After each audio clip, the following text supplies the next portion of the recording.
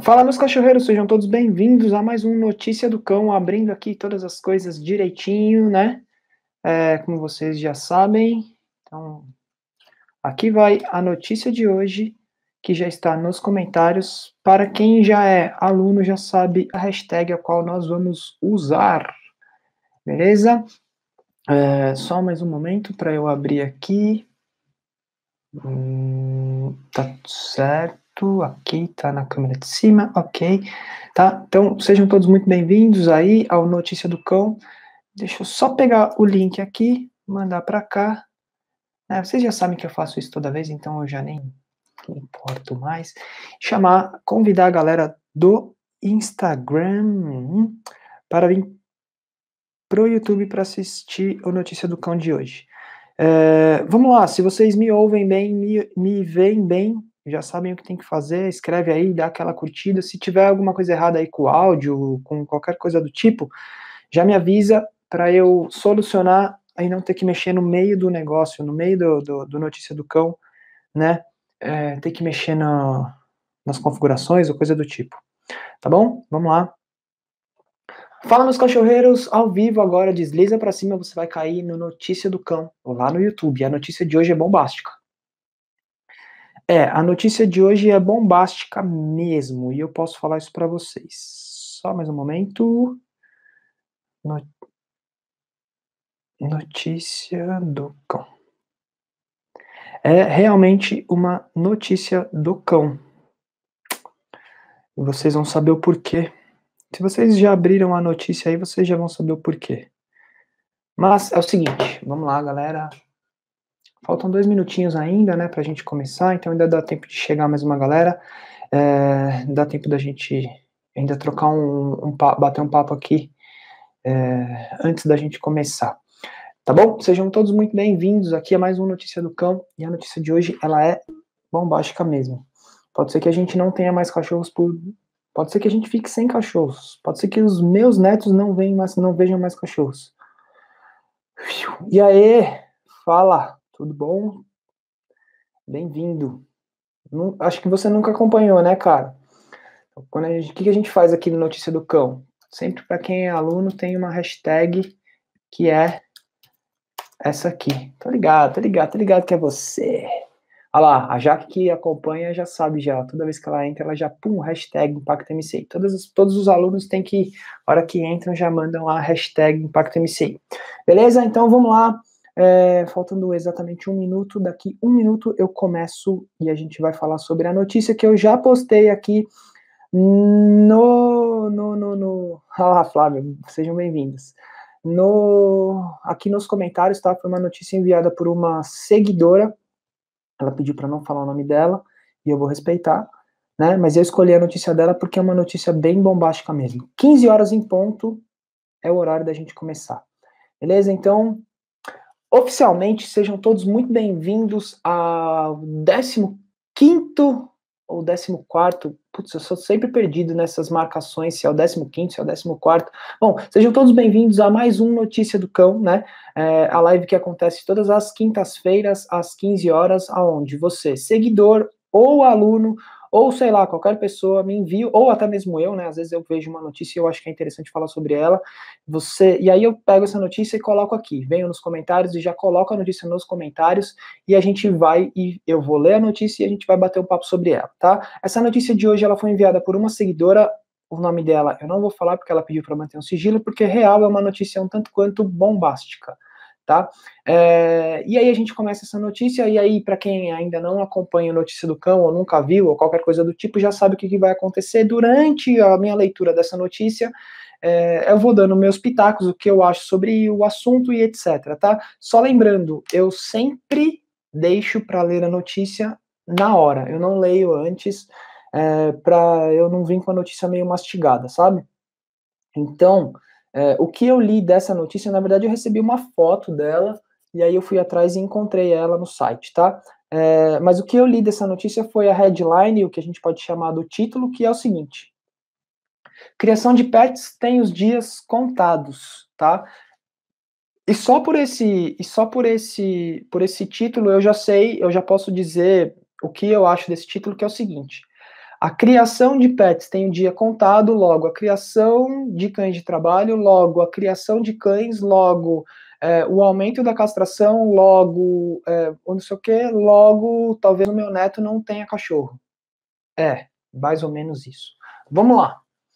Bom, beleza. É, é uma notícia que foi postada na quinta-feira, dia 12 de setembro de 2019. É uma notícia extremamente fresca, né? Na verdade, a foto do jornal é, a foto do jornal, ela foi postada é, dia 11 às 8h54 pela Maria Tereza da Costa, tá? Então vamos lá, vamos seguir aqui com a notícia. Se vocês quiserem acompanhar, a notícia está aí nos comentários, tá? Projeto alerta é, Estatuto dos Animais e acaba com criadores de bichos de estimação para comércio. Vamos lá. Aí na sequência tem uma foto bem bonita aqui de alguns huskies, ou não dá para ver estrutura total, mas parece husky ou malamute do Alasca, tá? É, aí tem aqui, a Prefeitura de Campinas não tem um levantamento de quantos criadores de animais de estimação existem. Bom, beleza, vamos lá. A atividade de criação de animais de estimação para comercialização está com os dias contados em Campinas. Vai para a Câmara até o final do mês projeto para alertar os estudos os, o, para alertar o Estatuto dos Animais de Campinas e proibir que cães e gatos, calopsitas, hamster, hamsters e outros pets sejam criados para venda. A prefeitura não tem um levantamento de quantos criadores existem na cidade, mas já iniciou, já iniciou a fiscalização e o cadastramento da atividade para começar a atuação assim que for sancionada. Bom, beleza, eu acho que é extremamente válido haver essa saber quantas pessoas são criadores, né, para que você consiga ter uma noção de quem é criador sério e quem não é, né, é, e não é por causa dessa notícia ou é por causa dessa lei que não vai mais haver criação, né, por mais que isso seja uma lei, que não possa mais criar e etc tal, é, assim como usar drogas é uma proibição no nosso mundo, né, no nosso, no, no, no Brasil, e as pessoas continuam usando. Então, com certeza, o que vai, o que vai acontecer é criadores. É, isso vai dar força para piores criadores, ao meu ver, tá? Não criadores sérios. E se você quer saber um pouco mais sobre criação, adoção, eu tenho uma notícia do cão que eu falo exatamente sobre isso e eu acho extremamente importante. Eu não sei o número dele agora, mas se você entrar na minha playlist do Notícia do Cão no YouTube, vai ter lá as, as certinho qual que é que eu falo sobre criação e adoção. Tá? E aí a gente vai, vocês aprendem a identificar bons criadores e bons locais de adoção. Bom, vamos seguir aqui de notícia. É, a lei vai, tor vai tornar Campinas a primeira cidade da grande primeira cidade de grande porte do país livre de animais em cativeiros. O projeto também incluirá a desativação progressiva do zoológico do bosque é, dos Jequitis, a decisão de proibir a criação de pets para fins comerciais foi tomada pelo prefeito Jonas Donizete, diante de denúncias de maus tratos cometidos por criadores, informou o secretário do Verde, Rogério Menezes. A venda de pets, no entanto, não será proibida na cidade. O Estatuto de Animais já disciplina a venda em lojas especializadas. Pets precisam ter certificados de procedência. A definição do tempo em que podem ficar em exposição. A loja precisa ter nota de entrada e de saída dos animais, entre outras obrigações, mas a fiscalização será acentuada. Então, o que está falando aqui nesse parágrafo é o seguinte: é, o projeto vai incluir né, é, a desativação do zoológico, pô, até aí ok, porque se a gente for pensar, todos os, todos os animais vivem dentro de um zoológico. Se você pegar o seu cachorro, o nosso cachorro, ele vive dentro dos nossos zoológicos, que é a nossa casa. E a gente tenta botar, fazer o melhor possível para o nosso cão dentro da nossa casa, né? Se a gente for pensar a grosso modo, é mais ou menos isso que acaba acontecendo. Mas eu também sou contra o zoológico é, e tudo mais, né? Mas vamos lá. É, é, bem polêmico esse assunto aqui, né? A venda de pets, aí ele continua aqui é, continua aqui. A decisão de proibir a criação de pets para fins comerciais foi tomada pelo prefeito, ok? Diante de denúncias de maus tratos. Então, ó, vamos lá. É, denúncias de maus tratos deveriam ser é, corridas atrás, né? As pessoas deveriam, os órgãos deveriam correr atrás para resolver isso aí e né, banir esses criadores, acabar com eles, multar, tirar eles do, de, de tudo de todo local. Né? Aí ele fala aqui, no entanto, não, no entanto não, mentira. Ele fala aqui, a venda de pets, é, a venda de pets, no entanto, será proibida na cidade. Ok, na cidade vai ser proibida, beleza.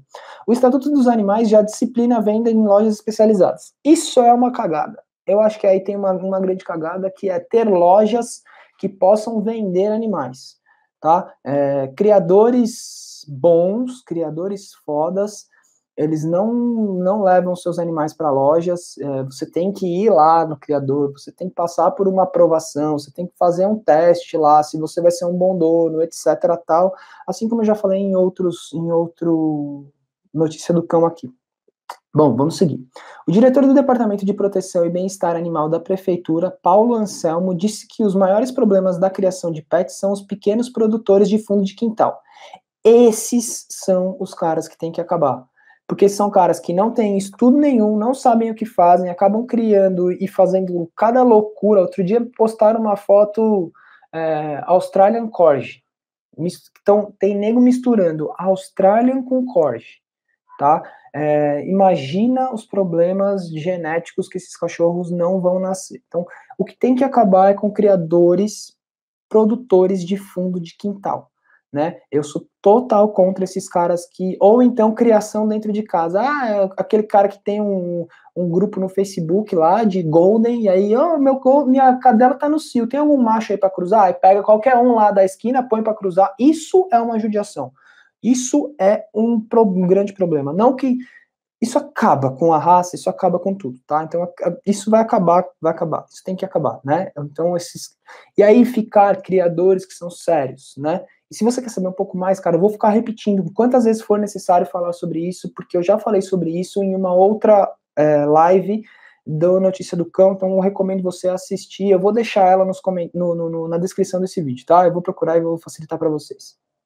É, quem os seus chamados animais de companhia sem condições sanitárias adequadas e onde há o maior número de denúncias. As, aí abre aspas aqui, né? As situações em que as pessoas mantêm sem matrizes no quintal, procriando sem quaisquer condições para vender os animais na rua. Então, olha, olha a situação que é a parada. Então, deixa eu abrir aqui ver se tem alguém falando alguma coisa. Olha a situação que é a parada. nego bota 100 matrizes lá, cruza irmão com primo, com tio, com cachorro, com cavalo, com periquito, pororoca, e sai vendendo lá e não tá nem aí, né? Então, isso é um grande erro, é um grande problema, né? É, para todo, para todo mundo, né? E, mas a gente, sim, tem criadores sérios, criadores de respeito, criadores que se dedicam, criadores que vivem disso, é, e, e, e, na verdade não é nem que vivem disso, né? Os, esses cria... caramba, esses criadores, os criadores mais sérios são os criadores que mais sofrem. É... Peraí. São os criadores que mais sofrem. Oh meu Deus. Foi pro lado aqui, desculpa, galera. É, que mais sofrem porque, cara, criação não dá dinheiro. Então, se você pegar um cara e falar assim, ah, o cara é rico criando cachorro, tem coisa errada aí. Criação séria, criação bem feita, criação com estudo, criação com, pô, com linha de genética, não dá dinheiro. Não tem, não é ninguém é rico fazendo isso, cara, né? Então, criação em si não dá grana, dá sim trabalho, dá sim muita dedicação. Quem cria, cria por amor, né? Vamos lá, aí tem uma. O Yuri falou aqui, ó. Isso é realmente muito sério. O complicado é que a falta de informação faz com que fique tudo generalizado. Cara, totalmente. Fa... É por isso que, eu, que a gente, né, assim como provedores de informação, por a gente ter um pouquinho de conhecimento, a gente tem que levar essa informação para cima, para frente e fazer acontecer para que as pessoas abram a cabeça. E aí tem uma outra situação. Existem pessoas que têm um pouquinho de informação a respeito de um único assunto e elas fazem você engolir aquela informação de qualquer jeito. Não pesquisam nunca o um outro lado. Tem gente que gosta de cão de raça e só fala de cão de roça. Tem gente que só gosta de vira-lata e acha que tem que acabar os cães, de, os cães de raça. Uma coisa está linkada na outra. Se acabar com um, acabam exatamente com o outro. Não tem como, eles estão juntos. Então, é, eu acho que existe uma coisa que é: a gente tem que ter uma cabeça aberta, né, para falar o seguinte. É, tanto uma coisa quanto a outra coisa tem que existir, tem que ter, e aí as suas, cada um entra no seu consenso e fala, cara, eu não sou a favor disso, eu não faço isso, eu não sou a favor daquilo, eu não faço aquilo outro, e assim sucessivamente todo mundo segue um mundo harmônico, né? Eu não estou dizendo que a gente tem que se amar, que todo mundo tem que se amar, assim como existe direita e esquerda, a direita e esquerda tem que se respeitar, né? Cada um do seu lado. Tá? E aí o Yuri conclui aqui. Os criadores sérios que estudam a respeito são os que tomam, tomam porrada de verdade. Sim, sem dúvidas, Yuri. É, aí a Flávia falou assim: tenho uns dois conhecidos que compraram cães em feiras de cães e estavam doentes, problemas de saúde sérios, coceiras e outros. Tá vendo, ó? Aí a Flávia tá falando aqui que criador, né? Criador que leva cachorro na feira. Pô, tem uma feira aqui, tem uma feira aqui perto de São Paulo, uma, uma feira de imbu. Meu, os caras vendem tudo lá. Cê, cê, outro dia estavam vendendo. Recebi uma notícia, o nego vendendo ah, só, ele tava com um cachorro, né? Ah, tô vendendo, eu só tenho um só, não sei o quê. Aí ele vendia esse um, daqui a pouco ele sumia meia hora, voltava com outro. Aí sumia meia hora, voltava com outro. Sumia meia hora, voltava com outro. Vai saber onde esse cara estava indo pegar esses cachorros, se ele estava indo no carro, se, qual eram as condições de vida desse cachorro que eles estavam sendo procriados e vivendo, né? Aí sim é uma máquina de procriação, tá? É, um projeto de lei como esse é que o governo costuma fazer. Mais fácil proibir e pronto. Ao invés de ter trabalho para fiscalizar apenas os que não têm condições para criar os animais. Gente, eu não tô. É, é, também concordo, viu, Jaque, mas eu não tô pregando aqui que eu sou. É, eu sou extremamente a favor da adoção, vocês sabem disso, eu sou extremamente a favor é, da, da castração, vocês também sabem muito disso.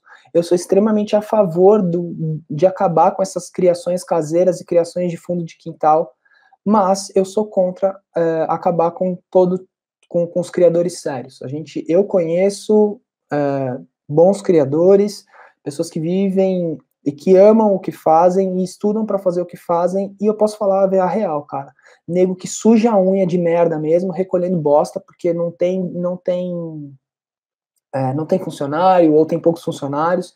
É, gente que, que, que, que cria por amor à raça, por paixão à, àquela raça específica, né? Cães de trabalho, né? É, se a gente for pegar aqui, né, pô, é, esses dias o Batalhão de Ações com Cães, com o pastor belga de Malinois e um labrador retriever, é, eles fizeram uma apreensão de mais de mais de peraí, para não falar besteira, eu vou abrir a, vou abrir o um negócio aqui tá? Mas eles fizeram uma apreensão, eu vou abrir aqui, só para eu ver aqui e não falar uma besteira, tá? Facebook, é...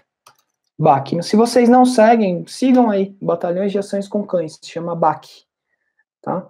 É... Então, usando, cara, eles, eles fazem uma, um trabalho fantástico com os cães, e, o, e, a última apreensão deles aqui, postada por eles, eu tenho até um, uma das aulas, para quem é aluno do Manual do Cão Ideal, um dos um dos rapazes, um dos homens aí da corporação, ele deu uma aula pra gente, né, dentro do Manual do Cão Ideal, mas é, quero falar exatamente sobre o post que eu vi. Tá aqui, eu achei o post, achei. Foi um post do dia foi um post do dia da última quinta-feira, então foi semana passada, e aí, ó, eu vou citar aqui materiais apreendidos, tá? É, foram dois cães, um labrador retriever e um pastor belga de Malinois. 33 quilos de cocaína, 221 tabletes, totalizando 543 quilos de maconha, 609 unidades de maconhas em tiros, em tiras, 3 mil unidades de pinos de cocaína, 1.850 unidades de crack em sacolé, 17 granadas e um kit de Ronir.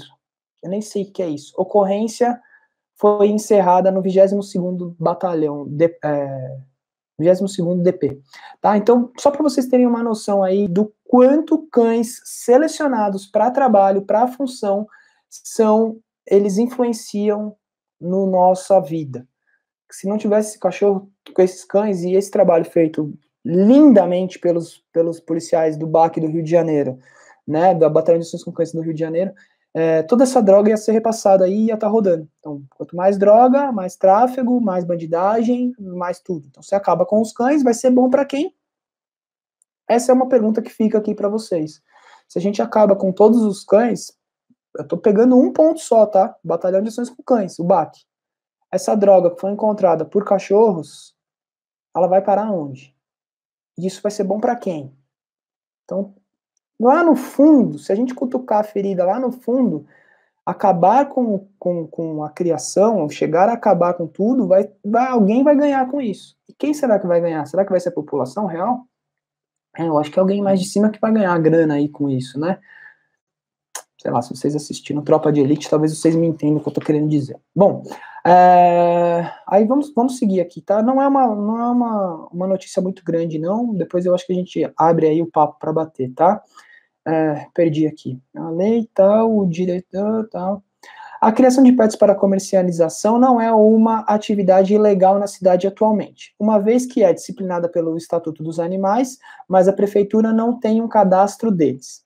A partir da ascensão da lei, da sanção da lei, quem for pego exercendo a atividade será multado. O valor da multa ainda não está definido, mas segundo o Anselmo não será inferior a 200 UFCS, mais ou menos 705 reais por irregularidade constada, dobrando na recorrência e a lacração do local. Sancionado em 2017, o Estatuto dos Animais disciplinou vários aspectos da convivência dos homens com animais em Campinas, na tentativa de minimizar, de minimizar os maus tratos, os maus tratos. Com ele, a prefeitura passou a ter de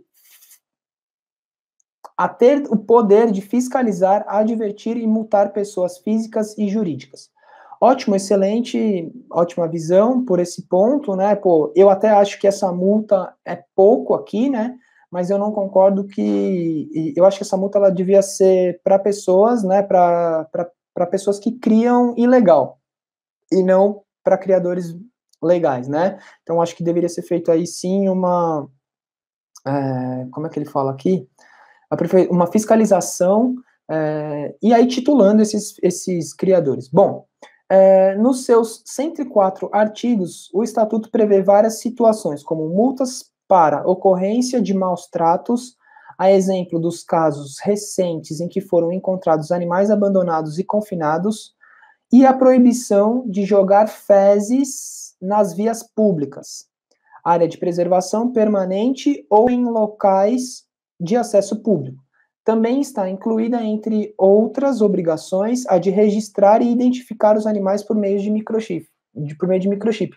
Isso é básico, isso é uma coisa que todo mundo deveria fazer, seja criador ou não não pode maltratar, não pode manter os cães em cativeiro, e isso acontece muito, tá? Tem gente que tem cachorro dentro de apartamento, tá mantendo o cachorro dentro de um cativeiro. O cachorro não sai para fazer xixi, o cachorro não conhece outros cães, o cachorro não tem socialização, o cachorro não tem isso, o cachorro não tem aquilo, o cachorro vive preso dentro de um apartamento e acha que tá criando o cachorro da melhor maneira possível. Para mim, isso é um grande maltrato. É muito pior do que muitas outras coisas. A pessoa vive com um cachorro dentro de um apartamento de 50 metros quadrados, não sai cachorro pra porra nenhuma. Cachorro, a pessoa vai no cinema, vai nisso aqui, vai não sei aonde, vai não sei lá, vai, vai, vai, vai. O cachorro nunca sai, tá sempre dentro de casa. Chega que a, bom, chega que vira até a unha do cachorro. Para mim, isso é mais problema do que muitas outras coisas que vem acontecendo que deveriam ser mais fiscalizadas, né? É, vamos seguir. A prefeitura investirá em um centro de recuperação. A prefeitura, olha lá, olha lá, olha lá a parada onde vai cair a prefeitura vai investir 4 milhões e meio na construção de um centro de recuperação de animais silvestres. Pô, isso é animal. Com recurso do Fundo de Recuperação, Manutenção e Preservação do Meio Ambiente, para cuidar da saúde dos animais encaminhados pela Polícia Ambiental. Depois de cuidados, serão reintroduzidos na natureza. A previsão é que a licitação para a obra seja aberta no início de 2020. Uma área de 28 mil metros quadrados do Ministério da Agricultura da Agricultura está sendo negociada para abrigar o CRAS, o Departamento de Proteção do Bem-Estar, e o SAMU Animal. Puta ideia foda. Essa ideia foi, foi, foi bem legal. Eu acho que isso aqui, pô, animal, a prefeitura fazer esse centro de reabilitação, né, centro de recuperação de animais silvestres. É, isso é fantástico. Acho que todo lugar devia ter, assim como todos os lugares deviam ter um centro de controle de zoonose, o CCZ, né? É, e dentro desses CCZs, eu acredito também que todos os lugares deveriam ter É, foi até uma matéria que a gente leu na semana passada, que eu li na semana passada, enviada por uma aluna do Manual do Cão Ideal, que é, dentro, do, dentro desses locais, fazer um trabalho de, de reabilitação dos animais para que eles sejam adotados mais rápidos, né? É, eu falei sobre isso na última matéria aí, se vocês assistiram, se vocês não assistiram, também voltem lá e assistam, tá? Bom, vamos seguindo aqui. Segundo o secretário do Verde, Rogério Menezes, a proposta do município é fazer uma troca diária, uma troca diária. O, o Ministério da Agricultura fica com a sua, fica com a área que já utiliza no Lago do Café, no Taquaral, e a prefeitura com a área. Bom, isso aqui não tem nada a ver para gente. Ali temos áreas verdes próximas, como a do Exército, que poderão ser utilizadas para a reintrodução dos animais depois de tratados. Disse até que a CRAS, né, seja concluído, os animais apreendidos serão cuidados pelo Serviço Veterinário do Bosque de Jequitibás. A Associação Mata Ciliar também recebe esses animais. Não sei se vocês assistiram o Radar Pet, né? Então, uma, em um dos dias foi feita uma visita, né, pela equipe na mata ciliar, onde eles fazem esse trabalho de reintrodução do animal na mata, né? Então é um trabalho bem foda feito pelos biólogos lá e tem treinadores também bem foda, onde eles reabilitam os animais e reintroduzem nas suas matas, mata ciliar. Foi feito, se vocês não assistiram, depois procurem aí no NAU, que tem aí o, o, o, o radar PET, tá? É, devastação do zoológico e, bosque, e do bosque irá à votação. Bom, eu acho que essa parte aqui dessa devastação do zoológico não entra muito. Mas vamos lá, vai, já estamos aqui. É, também chega à Câmara no final do mês o projeto que prevê a devastação, devastação, que maluco. A desativação progressiva do zoológico do Bosque de Jequitibás. A definição de uma lei disse o secretário de Serviços Públicos, Ernesto eh, Paluela, visa estabelecer política pública para quem eh, para que não haja mais zoológicos na cidade. A proposta já havia sido antecipada pelo correio pelo correio em março quando os técnicos começaram a trabalhar na elaboração da norma legal. Na prática, a desativação do ZUL já vem ocorrendo, porque os animais que morrem não são mais substituídos. Estimativa indicam que em 10 anos as jaulas e os cercados serão extintos, porque os mamíferos que vivem em cativeiros, como os felinos, hipopótamos e macacos, são muito mais são muito velhos e já não reproduzem mais. Os únicos animais presentes serão aqueles que vivem livremente na mata. Atualmente, cerca de 100 animais, entre aves como galinhas, selvagens, patos, araras, além de macacos, seis bichos preguiças e cerca de 40 cotias. É, 100 animais em cativeiro poderá se transformar em um santuário de animais livres. Já não cabe mais a existência de zoo como os locais de exposição. Esse, esses locais afirmam, esses locais afirmou adquirem uma função: preservação de animais, fauna brasileira e risco de extinção, estudo das espécies e procriação. É, eu, eu acho isso bem foda aí, então a gente meio que conclui aqui o nosso papo de impacto, o papo, a nossa notícia do cão, é, com, essa, com essa finalização aí sobre o sobre o zoológico. Eu acho que não faz muito sentido também, né? A gente ter esses zoológicos, eu acho que não é legal, não é um.